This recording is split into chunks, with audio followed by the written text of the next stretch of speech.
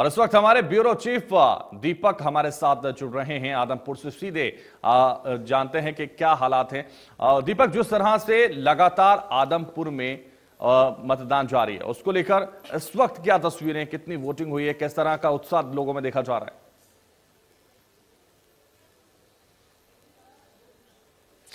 जी, बिल्कुल, आदमपुर की अगर बात करें, सत्ता के एक संग्राम में आदमपुर के इस उपचुनाव में जहाँ वादों और दावों के बाद आज वो दिन है लोकतंत्र का, जब तमाम मतदाता अपने मताधिकार का उपयोग करते हैं और वो चुनते हैं अपना कौन उनका विधायक होगा, कौन उनका प्रतिनिधि और इसको लेकर आज सुबह से ही मतदान जो है वो शुरू हो गया। पोलिंग स्टेशन की तस्वीर दिखाना चाहेंगे। ये आदमपुर अनाज मंडी का पोलिंग बूथ है, जहाँ तमाम जो लोग हैं सुबह से ही पोलिंग स्टेशन पर पहुँच रहे हैं। अगर बात करें तो एक उत्साह भी लोगों के अंदर है, और हम बात करें आदमपुर की तो तकरीबन 180 पोलिंग बूथ बनाए गए हैं। 180 पोलिंग बूथ है, जिनमें छत्तीस संवेदनशील, उनतालीस अति संवेदनशील हैं। और ऐसे पोलिंग बूथ को लेकर के कड़ी सुरक्षा व्यवस्था भी जो है, वो तैनात की गई है।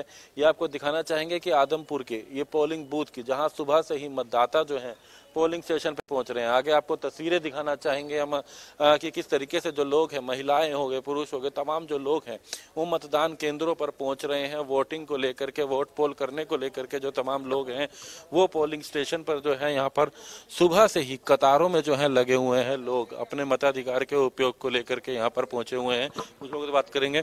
मतदान का आज दिन है, किस तरह की उम्मीदें, क्या मुद्दे आपके क्षेत्र के विकास को लेकर के रहे विकास के मुद्दे है जी आप आते हो रास्ते में देखा होगा आपने एक तो रास्ते का जो ढंग है हमारा बहुत बुरा हाल है। सीवेज कनेक्शन है जो हमारा कोई आ, उसका आउटलेट नहीं है प्रॉपर तरीके से। घर से निकलते हैं मार्केट में आते हैं बुरा हाल हो जाता है। साइनस की प्रॉब्लम है नजला है खांसी है जुकाम है। और ये बुरे हाल है हमारे तो।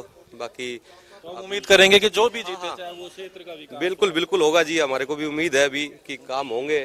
पहले नहीं हुए जो काम अभी होंगे तो हम उम्मीद करते हैं जी। तो तमाम लोगों में आपके क्षेत्र में आदमपुर में उत्साह है उत्साह बहुत ज़्यादा उत्साह है जी, और उस उत्साह के साथ भी लोग सुबह सात बजे से लाइन में लगे और वोट डालने के लिए आए हुए हैं इधर इतने उत्साह के साथ ही। बिल्कुल, लोकतंत्र की एक अच्छी तस्वीर होती है जब मतदाता अपने मताधिकार के लिए सुबह सात बजे से कतारों में है, सुबह सात बजे से जो है वोट पोल करने के लिए पोलिंग स्टेशन में अगर बात करें तो तमाम जो लोग हैं वो यहाँ पर पहुँचे हुए हैं। दो जो लोग हैं अपने मताधिकार क्योंकि आपको तस्वीरें दिखाना चाहेंगे कि किस तरीके से, चाहे महिलाओं की बात करें, तमाम लोगों की बात करें, अपना वोट पोल करने के लिए मतदान केंद्रों पर पहुँच रहे हैं जो तमाम लोग हैं। एक सौ अस्सी पोलिंग बूथ हैं, पोलिंग स्टेशन है, वो बनाए गए आपको दिखाना चाहेंगे यहाँ पर एक तस्वीर ये भी है कि ये व्यक्ति सुबह सुबह सात बजे भले ही आ, इनको व्हील चेयर से आना पड़ा लेकिन अपने मताधिकार का उपयोग करने के लिए आए। एक संदेश देने आए कि मैं भी घर से निकला हूँ आप भी निकलो। अपने मताधिकार का उपयोग करें तमाम लोग इसके लिए यहाँ पर आए हैं। आपने वो डाल दिया भी डालेंगे? डालेंगे डाल दिया जी। डाल दिया? हाँ जी। तो आप क्या उम्मीद है अपने क्षेत्र के विकास को लेकर? विकास? बहुत बढ़िया जी। सब सब बढ़िया है वोट डालना चाहिए इसी से मैं आया हूँ जी वोट डालना चाहिए। हालाँकि इनको चलने में दिक्कत थी तो लेकिन व्हील चेयर के ज़रिए पहुँचे, लेकिन अपने वोट पोल करने के लिए यहाँ पर पहुँचे। और एक संदेश है, लोकतंत्र का ऐसा पर्व है, जब जनता ये तय करती है कि उनका क्षेत्र का विकास करने के लिए प्रतिनिधित्व किसके पास और ऐसे में ये एक तस्वीर भी है, जब ये अपने घर से सुबह सात बजे पोलिंग स्टेशन में निकले तो लोग भी अपने पहुँचे, मतदान करें, चाहे वो किसी को भी करे जिसपे उनका विश्वास हो, लेकिन अपने मताधिकार का उपयोग करें। तस्वीरें भी हम देख सकते हैं कि मतदान केंद्रों पर लोग जो है, सुबह से ही मतदान केंद्रों पर पहुँच रहे हैं। उत्साह है लोगों के अंदर? और हम बात कर रहे हैं कि करीबन जी। बिल्कुल दीपक तो जिस तरह से मुख्यमंत्री ने भी कहा था आखिरी जनसभा करते हुए आदमपुर में कि पहले आ, मतदान और उसके बाद जलपान वही स्थिति नज़र आ रही है वो कहा गया था इसलिए लोगों में क्रेज है या वाकई लोगों में आ, मतदान को लेकर पूरी तरह से उत्साह भरा हुआ है।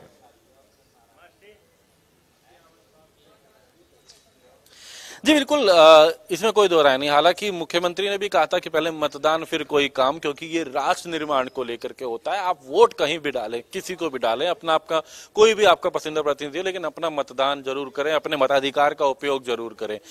यहाँ भी अगर बात करें तो जिस तरीके से, यही कारण है कि तमाम लोग, और ऐसे लोग जब एक सीधी तस्वीर, एक उदाहरण होता है कि भले ही चलने में दिक्कत थी, व्हील चेयर के ज़रिए मतदान केंद्रों पर पहुँचे, और सुबह सात बजे से ऐसी तस्वीर हम देख रहे हैं, लोगों के अंदर एक उत्साह है, अपने क्षेत्र के विकास विकास को लेकर के आपको दिखाना भी चाहेंगे कि तमाम जो लोग हैं, अपना वोट पोल करने के लिए मतदान केंद्रों पर जो लोग हैं, वो पहुँच रहे हैं। तमाम जो लोग हैं, एक उत्साह के साथ मतदान केंद्रों पर आ रहे हैं। मताधिकार के उपयोग को लेकर 180 ऐसे पोलिंग बूथ हैं। अलग अलग बात करें, पूरे आदमपुर विधानसभा में 180 पोलिंग बूथ है, जहाँ पर मतदान जो है वो आज चल रहा है। मतदाता अपने मताधिकार के लिए पहुँच रहे हैं और सुबह से ये उत्साह, हालाँकि सुबह हमने देखा कि कुलदीप बिश्नोई, भव्य बिश्नोई, रेणुका बिश्नोई और उनकी, कुलदीप बिश्नोई की माता जी, जसमा देवी, जो कि वो भी खुद विधायक रही हैं पूर्व मुख्यमंत्री भजनलाल की पत्नी है, वो भी यहाँ पर पहुँची। सुबह सात बजे सबसे पहले वोट डालने के लिए यहाँ पर पहुँचे। और इसी तरीके से हम बात करें, चाहे वो आम आदमी पार्टी के सत्येंद्र सिंह हैं, वो भी अब कहीं ना कहीं हल्कों के दौरे पर हैं, चाहे इनहेलो से कुरड़ा राम है, कांग्रेस से जयप्रकाश है अलग अलग क्षेत्रों में जा रहे रहे हैं, लेकिन आज का दिन है लोकतंत्र का। वो दिन जब मतदाताओं का दिन कहा जाता है, क्योंकि वो तय करते हैं जो लड़ाई चली, भाई कई दिनों से राजनीतिक दावे और वादे चले। तमाम लोगों की मतदाताओं ने सुनी और आज वो तय करेंगे कि आखिर उनको क्या उनकी सोच है, उनके क्षेत्र के विकास को लेकर के दावे और वादे सबके चले। इस गढ़ की लड़ाई में, इस संग्राम में, सत्ता के संग्राम में, लेकिन आज मतदाता जो है वो तय करेगा कि किसके जो कौन उनका प्रतिनिधि होगा, कौन यहाँ से विधानसभा में पहुंचेगा, और इसी को लेकर मतदाता जो है पोलिंग स्टेशन पर आज पहुँच रहे हैं। जी। बिल्कुल तो इसी को लेकर मतदाता लगातार पोलिंग स्टेशन पर मौजूद हैं और मतदान करने पहुँच रहे हैं। लेकिन दीपक, जिस तरह से 23 प्रत्याशी मैदान में ये बड़ी संख्या है। और ऐसे में लगातार जिस तरह से आज मतदान हो रहा है, उनकी किस्मत आज ईवीएम में कैद हो जाएगी। लेकिन सुरक्षा की हम बात करें तो किस तरह की सुरक्षा है, वो भी हमारे दर्शकों को बताइए, और किस तरह के इंतज़ाम हैं।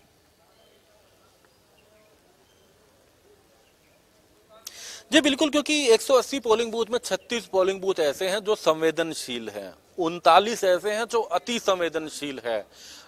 उनमें कड़ी सुरक्षा व्यवस्था तो तो तभी पोलिंग स्टेशन पर ऐसे 36 संवेदनशील और उनतालीस अति संवेदनशील में कड़ी सुरक्षा व्यवस्था तैनात की गई है। हम यहाँ पर भी दिखाना चाहेंगे, हालाँकि पर आपको हरियाणा पुलिस के जवान नज़र आएँगे। यहाँ पर इसके साथ साथ गेट की भी अगर आपको तस्वीरें दिखाएँ तो केंद्रीय रिज़र्व पुलिस के जवान जो है वो यहाँ पर तैनात हैं। हरियाणा पुलिस के जवान तैनात है। तकरीबन 2500 सुरक्षा कर्मी जो हैं वो तैनात किए गए हैं 180 पोलिंग बूथ पर। करीबन ढाई हज़ार जो है सुरक्षा कर्मी तैनात किए गए हैं पोलिंग बूथों जिनमें आठ डीएसपी हैं एचपीएस स्तर के अधिकारी हैं, एक आईपीएस है जिनकी ड्यूटी लगाई गई है। सुरक्षा के मद्देनजर जो है अगर बात की जाए, और क्योंकि 100 पोलिंग बूथ है 180 पोलिंग बूथ हैं जिनमें 36 संवेदनशील और उनतालीस अति संवेदनशील वहाँ पर सुरक्षा के ज़्यादा कड़े इंतज़ाम है। और ऐसे में यही एक प्रयास है, प्रशासन भी यही अपील कर रहा है लोगों से की शांत प्रिय तरीके से वो अपना मतदान करें हालाँकि इसी को लेके कड़े इंतज़ाम भी किए गए हैं। तो फ़िलहाल मतदान केंद्रों की ये तस्वीरें हैं जहाँ मतदाता अपने मताधिकार के लिए पहुँच रहे हैं अपना वोट पोल कर रहे हैं आ, अपने उम्मीदवार को लेकर के यहाँ पर। और सुबह सात बजे से ही लोग मतदान केंद्रों पर पहुँचना शुरू हो गए थे। जी। बिल्कुल तो सात सात बजे से ही लगातार मतदान केंद्रों पर मतदाता पहुँच रहे हैं और अपने मत का प्रयोग कर रहे हैं। लेकिन दीपक, हम बात करें, क्योंकि चुनाव में देखा आपने कि किस तरह के आरोप प्रत्यारोप का दौर रहा और अब चूँकि आज वो फैसला जनता को करना है, आज वो जो वोट है, वो आज जनता को देना है। तो ये आज का जो दिन है बेहद खास है और खासकर प्रत्याशियों के लिए, उनसे जुड़े लोगों के लिए, उनके समर्थकों के लिए। लेकिन जिस तरह से लगातार जो आदमपुर के उपचुनाव की बात हो रही थी या राजनीति की बात हो रही थी, उसका आज एक अहम दिन है। ऐसे में जो बाकी प्रत्याशी होंगे क्योंकि वो भी लगे हुए हैं वोटिंग कराने के लिए, लेकिन सबसे पहले कुलदीप बिश्नोई और आपने दिखाया कि भव्य बिश्नोई इंडिया न्यूज़ पर वोटिंग करने पहुँच गए और तस्वीरें हमने अपने दर्शकों को दिखाई। तो ऐसे में बाकी जो प्रत्याशी हैं, वो वो वोटिंग करने पहुँचे या अभी इर्द गिर्द नज़र आए?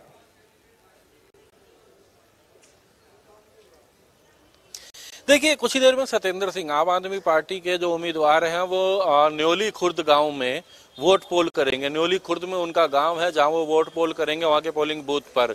इनैलो से कुरडा राम है, जो कि इनैलो के उम्मीदवार हैं, वो बाल समंद में बाल समंद गाँव के हैं तो वहाँ पोलिंग बूथ पर अपना वोट पोल करेंगे। बीजेपी से उम्मीदवार भव्य बिश्नोई जो अपने परिवार के साथ, अपने पिता के साथ, कुलदीप बिश्नोई माता रेणुका बिश्नोई उनकी दादी जसमा देवी उनके साथ आए थे और वोट पोल कर दिया है। तो आज तमाम अगर बात करें कर रहे हैं, हालाँकि कांग्रेस के उम्मीदवार जयप्रकाश की बात करें तो उनका वोट इस विधानसभा में नहीं है। आ, लेकिन वो भी अपने क्षेत्र में हल्के पे दौरे पर हैं और जो तमाम लोग हैं वो अपना वोट पोल करने के बाद अब जहाँ से जा भी रहे तो तमाम हालाँकि उम्मीदवार जो हैं अब अपने अपने अलग अलग गाँवों में भी दौरा करते हैं पोलिंग बूथ पे क्योंकि उनके एजेंट्स भी रहते हैं। वो लोग वहाँ पर कहीं ना कहीं दौरा कर रहे हैं। तो फ़िलहाल अभी तक बीजेपी उम्मीदवार ने वोट पोल कर दिया है। कुछ ही देर में आम आदमी से सत्येंद्र सिंह का इनैलो से कोडाराम अपना वोट पोल करेंगे सत्येंद्र सिंह न्योली खुर्द में करेंगे। क्रोडाराम नंबरदार जो है वो बाल संबंध गाँव में करेंगे, अपना वोट पोल करेंगे। और यहाँ पे जिस तरीके से यही अगर आपको बात करें तो एक उत्साह जो लोगों का, लोगों की जो भीड़ थी, वो सुबह मतदान केंद्रों में पहुँच रही थी और ये तस्वीरें लोगों के बाहर जाते हुए, अपना वोट पोल करने के बाद लोग जो है मतदान केंद्रों से वापिस जाते हुए ये मतदान केंद्र की ये तस्वीरें आप देख रहे हैं कि तमाम लोग जो हैं मतदान के लिए पहुँच रहे हैं। यहाँ पर अगर बात करें तो ये पोलिंग स्टेशन की ये तस्वीरें हैं। तो मतदान का आज दिन है, सबसे अहम एक ऐसा दिन लोकतंत्र का जब मतदाता अपने मताधिकार का उपयोग करता है और सुबह से ही मतदान केंद्रों पर जो तमाम लोग हैं वो पहुँच रहे हैं। जी। बिल्कुल तो मतदाता लगातार पहुँच रहे हैं और लगातार हम अपने दर्शकों को हर एक तस्वीर दिखा रहे हैं और इंडिया न्यूज़ सबसे पहले हर एक तस्वीर लेकर अपने दर्शकों के लिए आ रहा है आपके द्वारा और जिस तरह से लगातार जिस मतदान हो रहा है आदमपुर में और इस सीट की अगर हम बात करें तो बेहद होट सीट है ये, क्योंकि लगातार चर्चाओं में रही है और आदमपुर उपचुनाव को लेकर ये कहा जा रहा था कि सबसे होट सीट चूँकि होने वाली है, और अगर हम देखें, क्योंकि चुनाव को लेकर अगर हरियाणा में इस वक्त उपचुनाव हो रहा है तो ये जो सीट है, इसकी चर्चाएँ बहुत वक्त पहले से होनी शुरू हो गई थी। भव्य बिश्नोई को लेकर और कुलदीप बिश्नोई को लेकर खूब चर्चाएँ हो रही थी। लेकिन अब चूँकि 6 नवंबर को उपचुनाव के नतीजे आएँगे उससे पहले अब किस तरह की चर्चा किस दर, किस तरह से मतदाता क्या क्या मतदाताओं की आ, मांग है क्या क्या उनकी सोच है किस तरह से उनकी उम्मीदें हैं वो क्या चाहते हैं?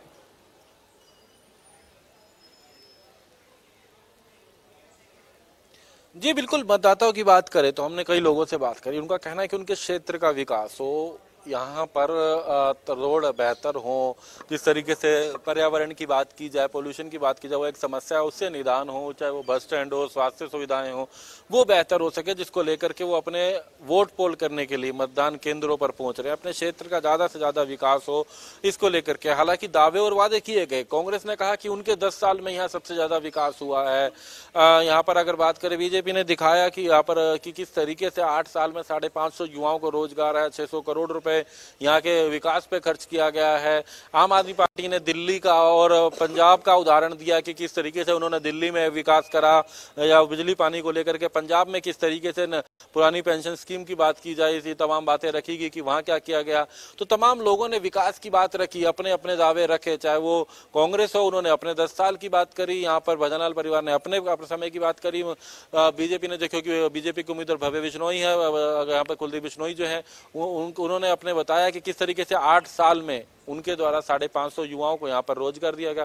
ये तमाम बातें थी दावे थे और इसके बीच लोगों का एक ही मुद्दा कि उनके क्षेत्र का विकास हो सके एक ऐसा व्यक्ति हो जो उनकी समस्याओं का निदान कर सके क्षेत्र को बेहतर बना सके जिसको लेके तमाम मतदाता जो है मतदान केंद्रों पर पहुँच रहे हैं दीपक हर जगह अपनी अलग ज़रूरत होती है अगर हम आदमपुर क्षेत्र की बात करें तो वहाँ क्या जरूरतें हैं क्या मुद्दे हैं क्या जनता को चाहिए क्या दिक्कतें हैं जो जिनको वो दूर करना चाहते हैं, किन चीज़ों पर वो विकास करवाना चाहते हैं अपने प्रत्याशी से? देखिए, आदमपुर की अगर बात करें तो एक राजनीतिक गढ़ कहा जाता है। राजनीतिक गढ़ में बस स्टैंड, अस्पताल तो ये चीज़ें हैं, लेकिन सड़कों की हालत ज़रूर ऐसी थी। उसके लेकर के निर्माण भी चल रहा है। तमाम लोगों ने अपनी बात रखी तो यहाँ पर विकास का मुद्दा इस चुनाव में ज़्यादा नहीं रहा। इस चुनाव में विकास की बजाय यहाँ गढ़ की लड़ाई ज़्यादा रही। हालाँकि तमाम लोग, उनका कहना है कि सड़कें और बेहतर हो सके, इसको लेकर के वो उम्मीद करते हैं। यहाँ उनके लिए पानी की व्यवस्था बेहतर हो सके, इसको लेकर वो उम्मीद करते हैं। तो उसको लेकर मतदान केंद्रों पर लोग मतदाता जो है वो पहुँच रहे हैं।